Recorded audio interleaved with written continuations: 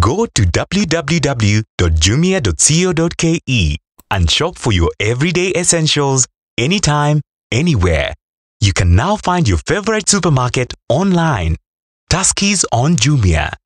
Simply add your items to the cart by either shopping by category or using the search bar.